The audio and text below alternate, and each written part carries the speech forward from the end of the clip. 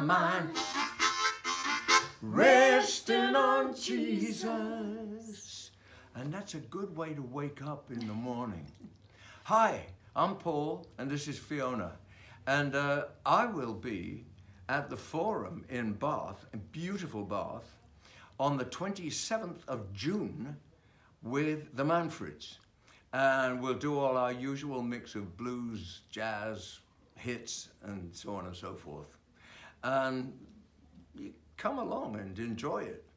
And then We're also coming back in July, Sunday, the 14th of July, and we're really honored and really privileged to be sharing the story of how we made Jesus Christ the Lord of our lives. Hallelujah. You know, don't you, as Christians, I know we do, we want people to know of God's goodness.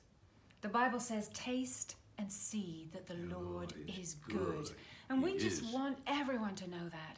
And so please bring your friends, bring those that you know are sitting on the fence. We're going to sing gospel songs. You're going to sing and play with your harmonica. we might do that one. You were an atheist.